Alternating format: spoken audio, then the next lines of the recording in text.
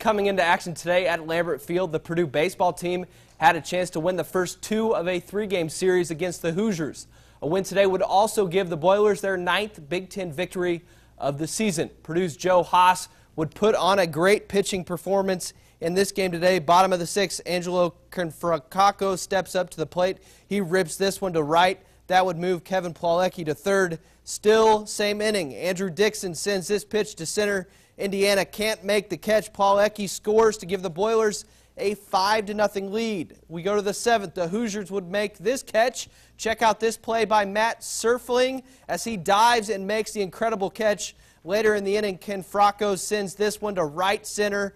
Cameron Perkins trots home. 6 0 Purdue at that point. Indiana would tack on two runs in this one but it wouldn't matter as Purdue gets the 6 to 2 win. Purdue wins the series against the Hoosiers. The Boilers improved to 28 13 overall, 8 and 5 in Big Ten play, and go for the